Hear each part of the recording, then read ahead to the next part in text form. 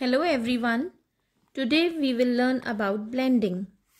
Blending is when two consonants join together and give their own sounds. Now we will learn blending of letter B and letter R. When letter B joins with letter R, they make br sound. Now let's learn few words with br sound. Br broom. We sweep the floor with broom. Br brush. Painter paints the wall with a brush. Br bread. I love to eat bread and butter in the breakfast. Br branch.